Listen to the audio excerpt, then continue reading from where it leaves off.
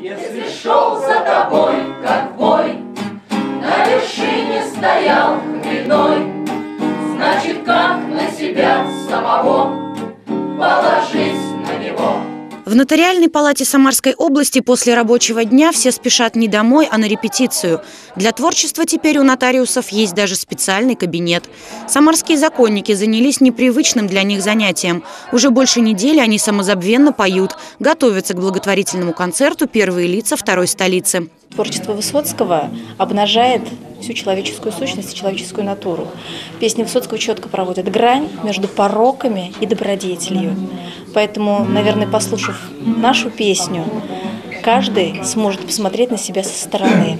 Помочь больным детям – цель достойная и благородная, считают в нотариальной палате. Организация нередко вносит пожертвования в различные фонды, показывая пример другим. Сильный должен защищать слабого. Нотариальная палата уже более 20 лет участвует а, в такой деятельности и помогает детям.